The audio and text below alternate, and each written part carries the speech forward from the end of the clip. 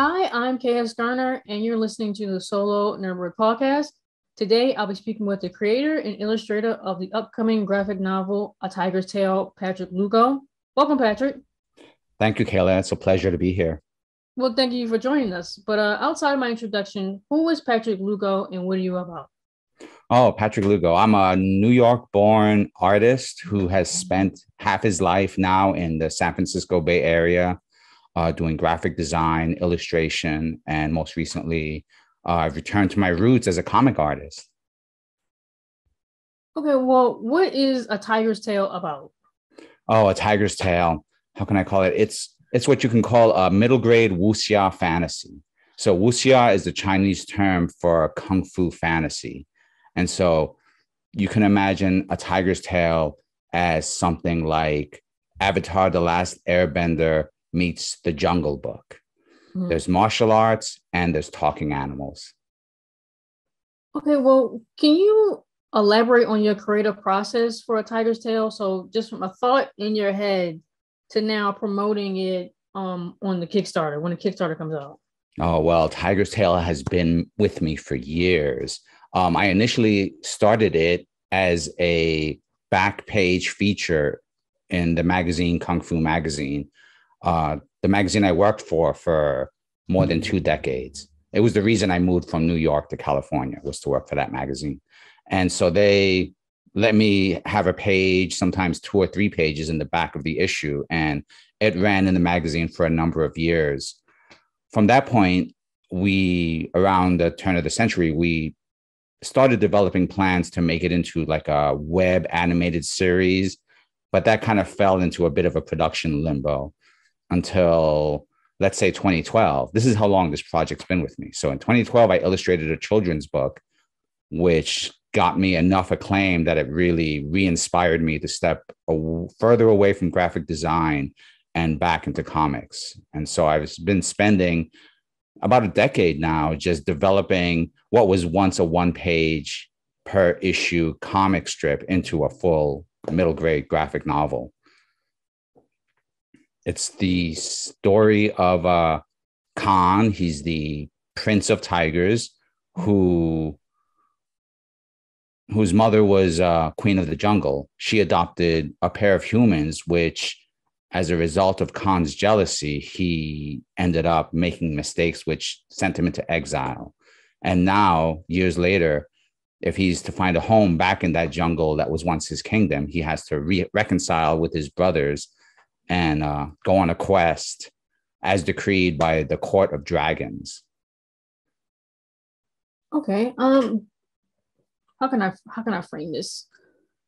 Did was it ever a struggle or did you have to like kind of fight to tell this kind of story depicting the you said wuxia fantasy, correct? Of you mm-hmm. know Asian mythology and deities and tales. Like did it was it ever like a struggle of trying to find an audience for it or um having to to, to fight to tell this this story in a way? Because i'm thinking like how did you find your audience? Well it was it was definitely it's there's definitely been struggles embedded in the process. I mean the audience was kind of there because you know i was writing the comic specifically for readers of a martial arts magazine mm-hmm. you know in fact there have been other comics published in mar- martial arts magazines but as tiger's tale really was the longest one. It lasted for a number of years. Uh, so there was an audience kind of built in. You know i would get fan mail and you know we would we would correspond but that kind of tapered off you know, when the when the project left publishing and tried to enter into the media sphere, you know, try and become animated. You know, animation is a huge production, and we just weren't ready at the time. So then eventually, I was able to regain that property, and so that was a whole number of years where it was just stuck in limbo, and I couldn't do anything with it. So I would say that was a major, you know, hurdle to get past. Mm-hmm. And then once I had it back, I had to kind of rearrange my workflow and my space so that I could, you know, devote time and energy to this project while having a full time job and while doing other freelance projects, you know, album cover art, t shirt art, that sort of thing. But right around 2019, I finally finished it. It was a it was going to be this black and white 138 page graphic novel it was going to have a glossary in the back so that it would reflect um, the stuff that i had learned right? Tiger's tale was all about me learning from the various kung fu masters that i worked with at the magazine and then translating what they would tell me their folklore and translating it into a format that was more um, digestible for younger readers who might not be as familiar with the you know the the language or the the the details the history behind you know martial art customs. Okay um let's let's go a little bit back to the creative process from the pages that you sent me mm-hmm. I liked how um, it was formatted, the out the art style, how it was formatted, how the panels were formatted. It's kind of like it's graphic, like it is black and white, and then like maybe in the middle of the page or to emphasize something on the page it's kind of like on a grayscale, which I really like. So it's not these like harsh breaks or anything like like anything like that on the page.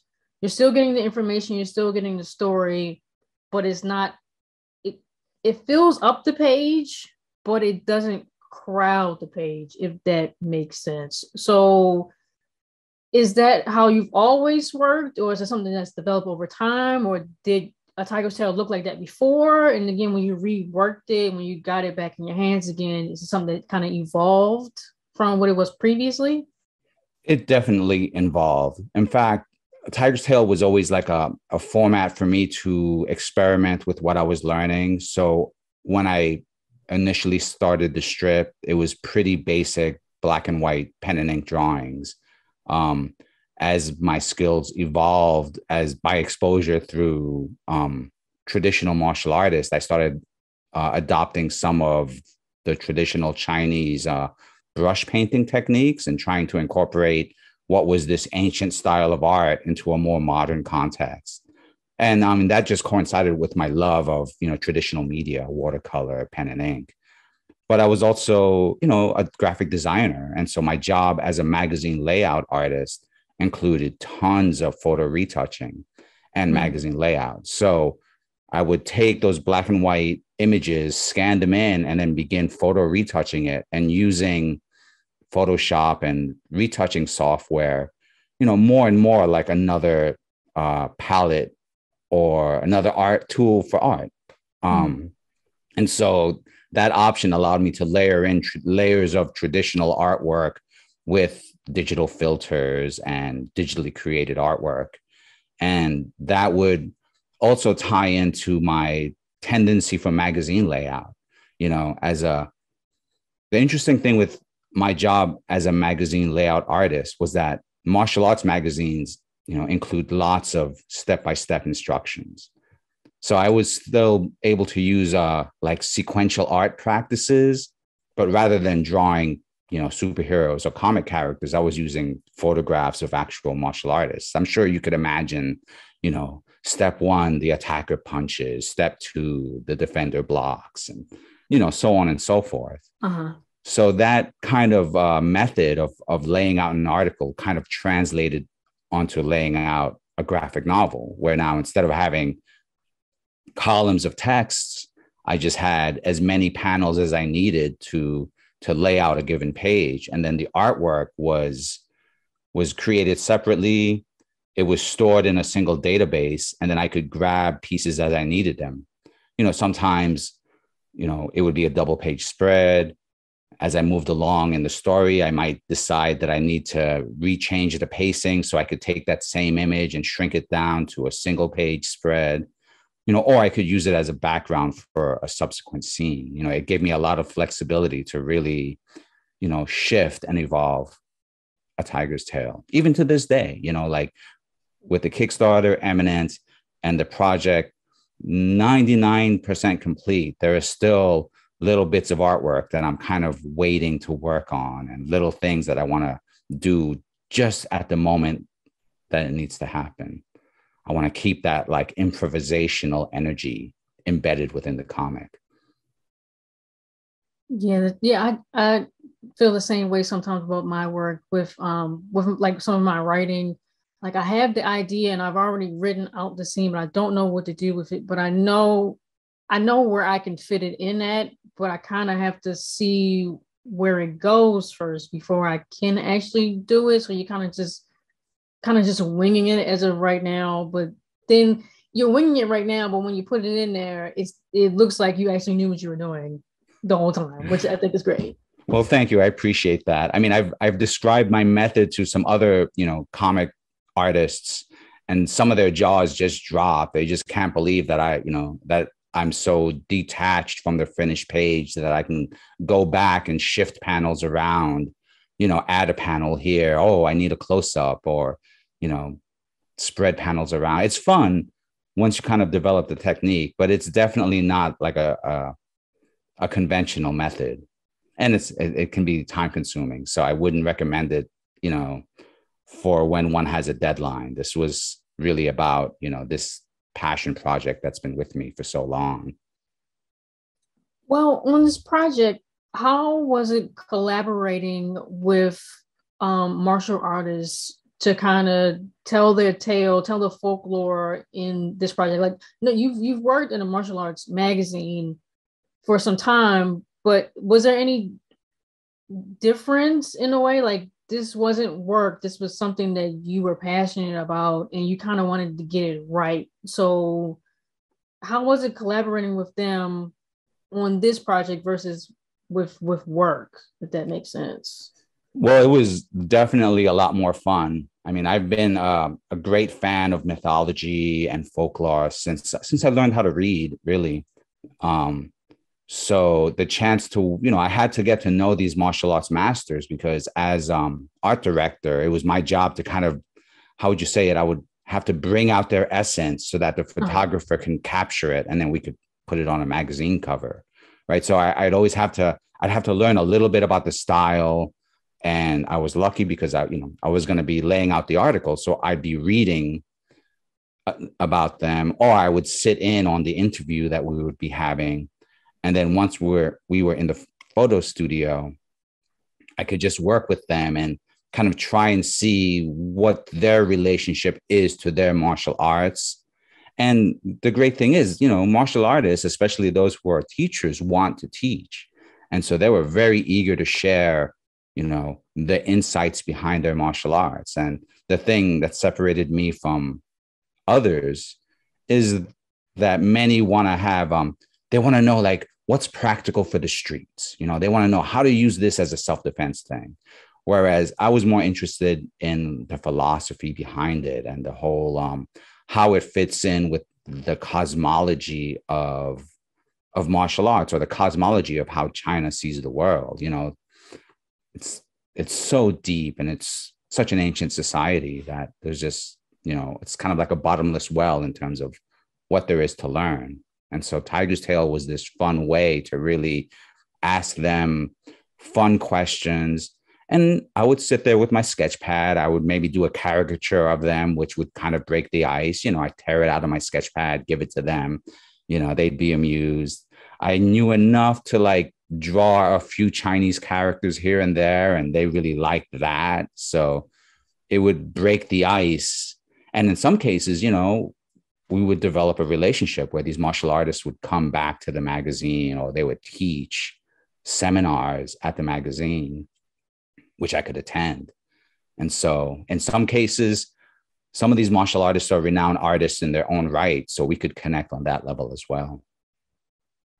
Yeah, it, I, I guess the rapport you built with them helped a lot with, you know, obtaining knowledge from them so you can write your story. Because I kept thinking, it was like, was it intimidating to talk with these martial artists, you know, these respected artists uh, and teachers? But it, it uh, from what I'm hearing, you, you know, were able to break the ice and, um, and, and get the information that you needed respectfully. I was like, how, like, how can I respectfully obtain information like this from people? It's, it seems so imit- um, intimidating, but it seems like you, you've done a, a great job of building a rapport with them.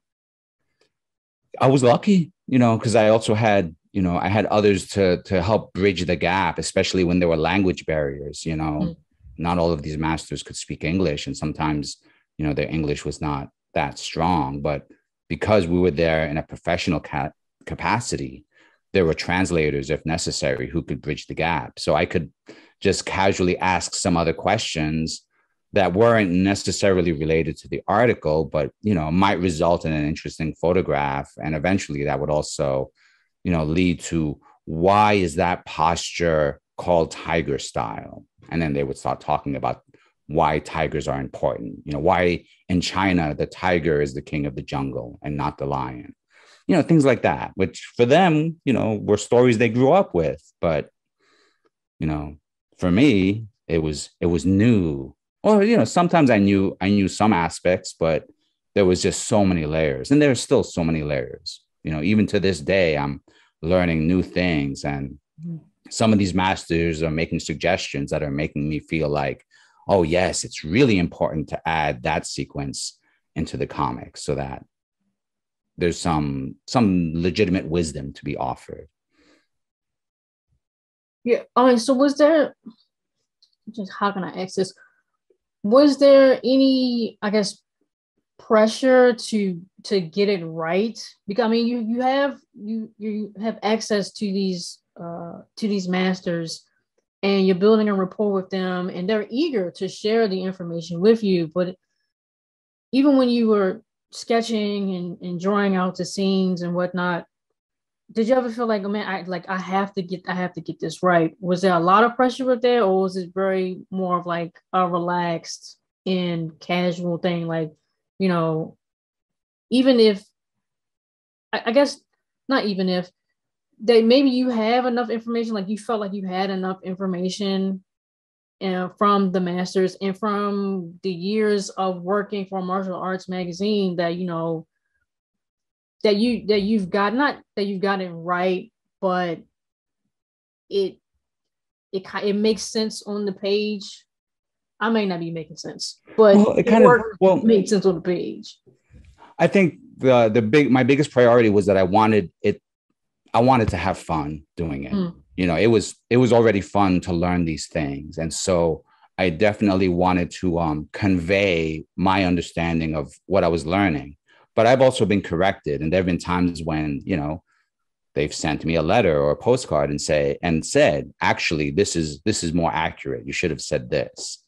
So there are times when you know I've I've had to adjust and had to look at the story and say, you know what, yeah, that that was a that was too flimsy of an idea. Let me let me explore something a little more you know deeper or a little more valuable or let me try and do something to make the story more substantial so that it's not just this cliche about this idea but it, it also coincides with stories that you know where the characters have motivation and the characters seem a little more real even though the characters are also based on how would you say it like philosophical principles mm-hmm. as well so like you know the name of a given of a given character khan for instance you know that name in chinese has a bunch of different meanings you know. One of them also has to do with being the third brother and one of them has to do with um how would i say it? Like a, a dark and murky lake where there are things below the surface mm. you know. And so like naming the character that way gave me the chance to remember that these are the things that make that character who they are you know, another character from the comic is Chen. Chen is one of the human brothers raised by the jungle. And Chen also means thunder, you know, and so it also it's, you know, part of his character is that he's uh he's a bit of a hothead, you know, mm-hmm. and so he's he's the one that's a little more willing to to to start a fight like a like some martial artists might be. And so I wanted the name, you know, for those who know, they'll see that name and they'll say, "Oh, that's a you know that's a trigram from a from the I Ching, you know, a, a piece of Chinese philosophy, you know." But if you're reading the comic, it might just be the name of the character, and that should be enough. All right. Um, what advice would you offer to other artists you wish someone would have told you when you first started? Hmm. Um, don't lose sight of what you what you really want. Don't get too distracted. I know that i've like tiger's tale you know could have come out years earlier but you know i i pursued other interests. And i, I don't necessarily regret some of those other interests. They opened other doors. But you know there are there was a chunk of time when i was considered myself more of a graphic designer than a comic artist. And now here i am really embracing my passion for comics and thinking you know what? I didn't have to be so much of a graphic artist you know x number of years ago. I could have really you know kept going to conventions and kept trying to like get that thing you know get that thing published. But life has twists and turns. So i think there's also uh, it's also important to kind of not be too hard on yourself you know and to try and really uh especially in days like today right? Like try and really capture and just acknowledge those little victories you know and really remind yourself that okay things may be tough at this level but you know there are still victories that you can find and you know those victories can help you get over that initial hurdle. Well while you were working as a graphic designer for most of the time before you went back into comics, I mean, was it something that just kind of that you preferred to do at the time, or maybe something that was just working out better for your life at the time than comics were? Maybe because a, a lot of that is, you know, or maybe you just maybe have lost interest, or this became more interesting of a project to do, or maybe it was like, oh, you know, I have the skills and the knowledge of a graphic designer. I'll just pursue more graphic design stuff. So was that maybe something that was happening then? You know, are you willing to share? It was definitely it was a few factors, many of which you mentioned. Um, definitely there was a financial component. It was kind of easier to make a living as a graphic as a graphic artist, particularly as an in-house graphic artist, where I just mm-hmm. knew I had to fulfill these things.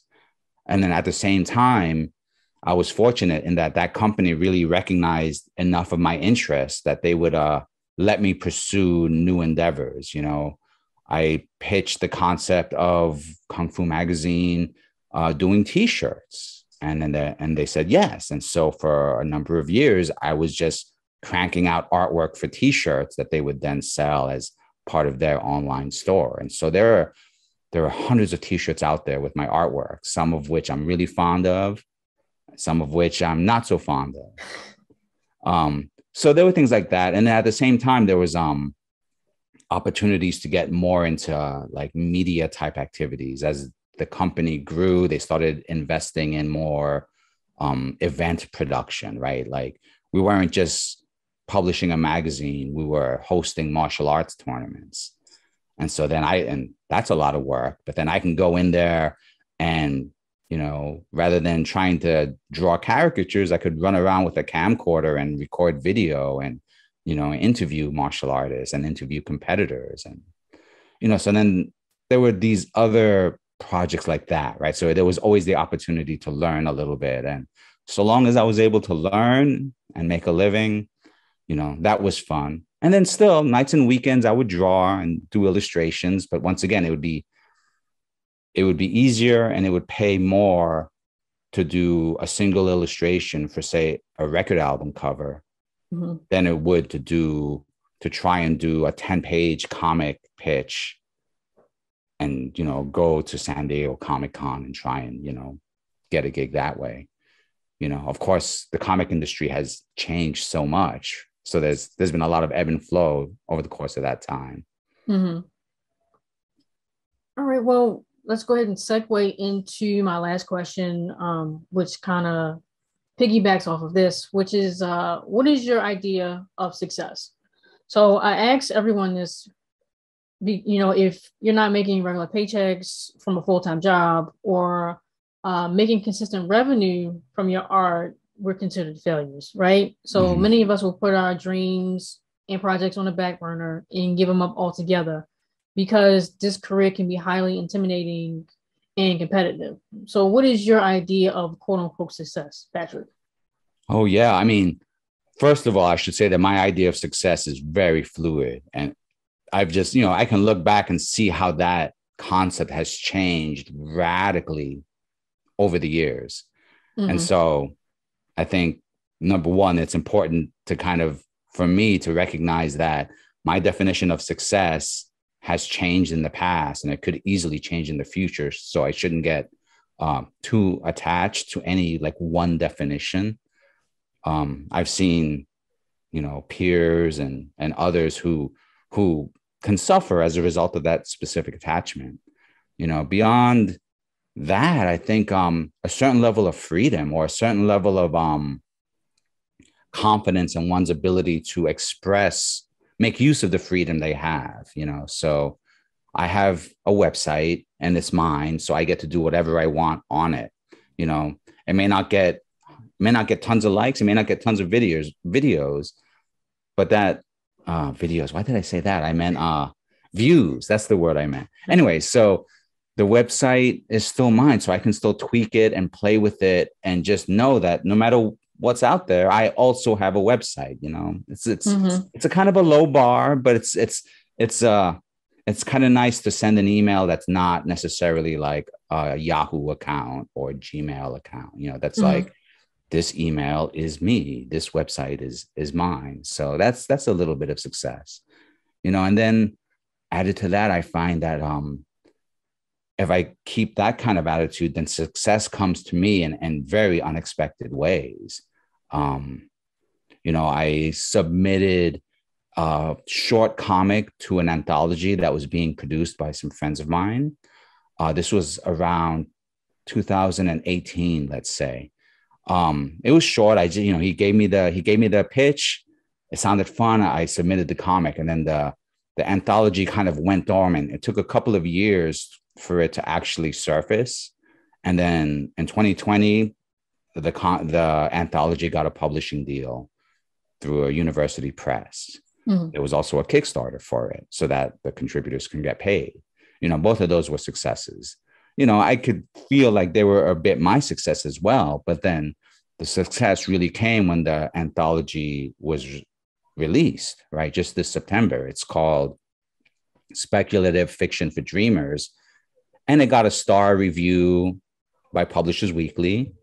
It uh I even got called out, you know, by name. They mentioned the comic that I contributed and they just said my name. And so that's a bit of success that I was I was not expecting, but it's out there, you know. Hey, Publishers Weekly like one of my comics, you know.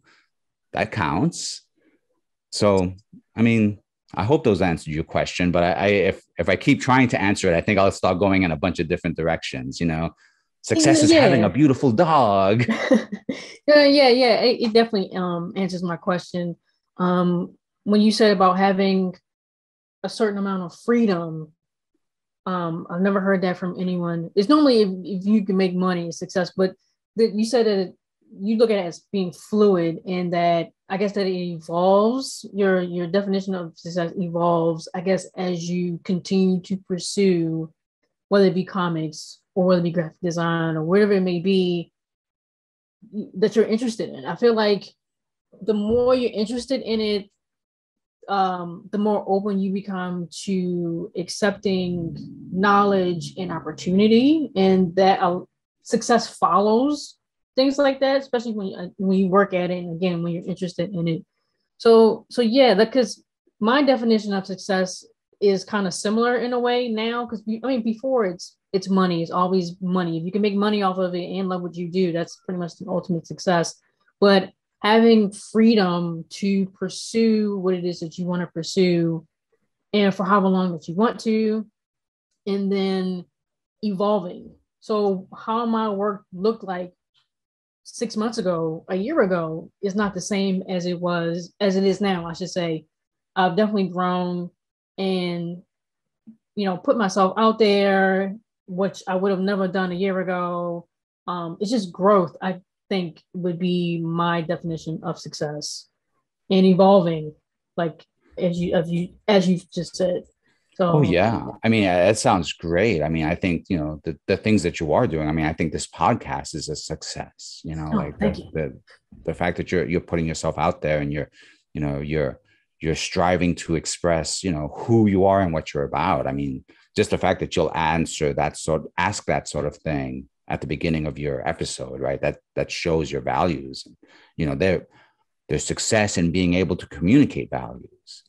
You know, um, which I think is important. I mean, I think also, um, you know, it might be a strange thing to say, but you know, we live in a capitalist society. That's no surprise. Yeah. But you know, capitalism is kind of a form of tyranny, right? Like, wouldn't it be better if we didn't have to really work so hard to to have the things that we all need? You know, like yeah, so within yeah. the context of needing to make money, right? Like the chance to make a little bit of money doing something you like, you know, should be mm-hmm. fun, should should help. And once again, that's why it's important to like really put a spotlight on those little victories, right? Because those things can add up. You can, you know, you can build the pyramids with bricks, you know. Uh-huh. Yeah, I totally agree. I, I remember hearing from someone, she said that um she I guess we shouldn't have to work so hard. We you shouldn't have to go so hard to just be able to experience something, you know, or having having access to something. We shouldn't have to drive miles away from our homes to have fresh food because we live in a food desert, you know, mm-hmm. or we have to take multiple buses and trains to get to work just so we can come back home and pay the rent and not have anything else to do, stuff like that. So, yeah, I I, I definitely agree with what you just said.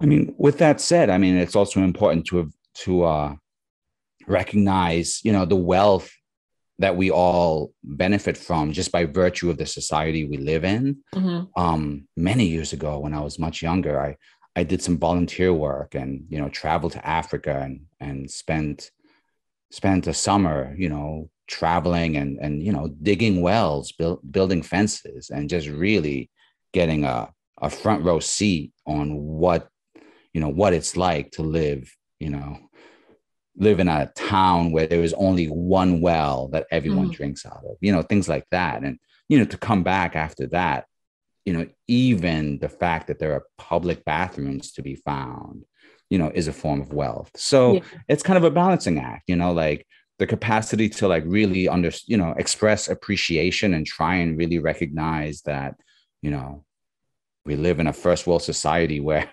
where things are not too bad for people, mm-hmm. although things can be terrible for others, you know, like it's it's, yeah. it's a really crazy dichotomy. I don't know what I was trying to say with that. I mean, I think it's I, I think it's just important to kind of acknowledge, you know, like that weird balance. Oh yes, I was thinking of a of an old Chinese saying that that a lot of martial artists tell me, and it translates to you have to eat bitter before you can eat sweet. Uh-huh. And um you know so within the context of martial arts right you have to do the hard work before you can do the cool stunts. Mm-hmm. kind of what it sums up. But you know i mean i think it translates everywhere right? You've got to you've got to do some hard work before you can you know benefit the reward from the rewards of those efforts you know? Yeah exactly uh, is there anything else that you want to touch on about a tiger's tale that I may have missed? Uh, do you know any rewards for potential backers for your Kickstarter yet, or is there anything oh. else that you wanted to discuss? Maybe your uh, the newsletter. Well, yeah, I have a I have a monthly newsletter which has been fun. It's it's um it includes uh, a kind of a stream of consciousness comic that I that I do. Although I'll be putting that on pause for the sake of the Kickstarter campaign. Mm. Um, it's been key to to you know to get through these past couple of years, um, reaching out and kind of keeping connected with with supporters and with artists and other you know and other fans. You know, it's it's something that you can do through social media, and that's that can be great fun too. But there's something kind of unique about you know having like a collection of people that that will you know reply back to me when i send my latest you know my latest my latest newsletter out or my latest little web comic you know?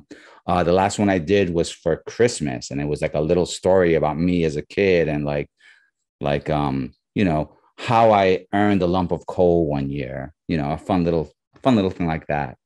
But um as far as tiger's tale i have a uh quite a few rewards. You know, I'll be doing a few sketch variants for the cover. I'm really excited about one of the martial artists who's agreed to do a traditionally Chinese painted cover oh. as an alternate. So that'll be interesting. Mm-hmm. You know, I'll have um a short mini comic that um that I'll be including. I did this around 2020. It's kind of like kung fu versus vampires. So that's Ooh. kind of fun. I've also got some some copies of this. This this was part of an art gallery show that I did for Tiger's Tale a number of years ago. And so I printed out like a short little, you know, pretty high quality paper. It was a short little comic. But the thing was that since Tiger's Tale evolves, the story here is completely different than the rest of the graphic novel. So uh, backers can get the graphic novel and then they can also get this version and they can see like different ways the story um, evolved you know? And then the other thing that i'll be really excited to do is um include some gallery prints and some original art with rewards right? So i've got pieces like this Ooh. which was featured in one of my gallery shows. Let's see if i can give you a better i've got a lot of glare going on. There we go. Yeah that's good. So this was part of one of my gallery shows um you could even see in the back it's still got the tag from the gallery so that'll be like a reward tier. Um, I've got a bunch of stickers. I've got um, as as I might have mentioned, right? The campaign is going to start February first, uh, Chinese New Year. So I've got this cool little sticker of a luck dragon. You might remember luck dragons from, say, the Never Ending Story. Uh-huh. So I've got my own here in gold, which will be another you know another little add-on. So i mean since i've been working in publishing for years i love creating a bunch of random things like that. So if uh if things go well i've got um some hopes for maybe doing a patch that you can iron on. That could be fun. Uh-huh. and um and then i think there's going to be uh something that I, i'm still haven't really um set in stone but i think i'm going to ask for feedback from Kickstarter supporters to help me develop what what the final cover should be, right? I'll mm-hmm. have variant covers and I'll even have like a blank cover. I had it here in my pile of items. Oh, here it is.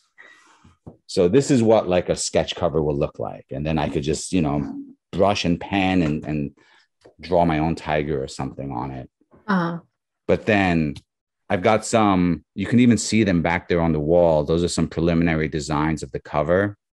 And so, what I'm hoping to do is get feedback from backers to help me really get a cover that everyone's going to like. And I think that's going to be kind of a fun and interesting thing where, you know, people can sign up on my Discord server and they can actually watch me as I as I finish doing the art for some pieces. Oh yeah, that that definitely sounds really interesting. So yeah, I, I look forward to seeing what the Kickstarter looks like and how everyone responds to it. Because I, like I said, I was you know reading what you gave me and looking at it, and it's just so interesting to me and the whole layout and art style. And I just I, I love it and how you were explaining what what what inspired you. It makes sense as well because I was like, I, I love people's art style, but I can never name it. I have no idea what it is, but then you said what it was, thankfully. So I wouldn't sound foolish. Well, right. I might change the name, you know. I mean, it's fluid, so even the name of that art style might change. But also, I also should mention that I'm going to be coloring the book too, right? Like, I yeah. initially had the vision that it should be a black and white comic, right? It's it's a comic that starts with yin and yang, black and mm. white, right? So it always made sense. It's a yin and yang comic. It should be black and white. But um, printing technology makes it so easy now. And really, if I want to reach out to young readers, you know, young readers really want to see colorful stuff. And and I can do color pretty well. So so yeah, so that's going to be a whole other new aspect to the project is like brand new colors that that I'm kind of excited about because it's got another how would you say it's got another layer of how it's going to incorporate itself into the story. Uh-huh. So yeah, I mean, either way, I mean, from what I've seen that you've sent me, it it looks amazing. So color will definitely in, enhance it, but I feel like even this alone works really well. So I learned when I started graphic design, he told me my professor told me if it doesn't work in black and white, it's not going to work in color. So it definitely works either way, Patrick. Well, thank you. I really appreciate you saying so because you know, as being uh, a, an artist shut in, you know, ch- chained to their art table, you can say it's uh-huh. not always easy to get feedback. I mean, I have critique groups, so I get feedback that way. But then to you know get feedback from someone such as yourself really you know really means a lot because it's kind of letting me know that that I'm kind of on the right track. You know mm-hmm. that there are people who might enjoy what I, what I'm trying to offer and what I'm trying to communicate. And you know, I mean, art needs dialogue, or mm-hmm. else it's not really art. So yeah. All right. Well, Again, I want to thank the creator and illustrator of the upcoming graphic novel, A Tiger's Tale, Patrick Lugo. I highly recommend our listeners to give Patrick's website a look, share, and back the Kickstarter if they can when it goes live. All of Patrick's socials and website will be listed in this episode's details, as well as the Kickstarter link at a later date. Again, I'm KS Garner, and you've been listening to a solo Nerdbird podcast. Thank you.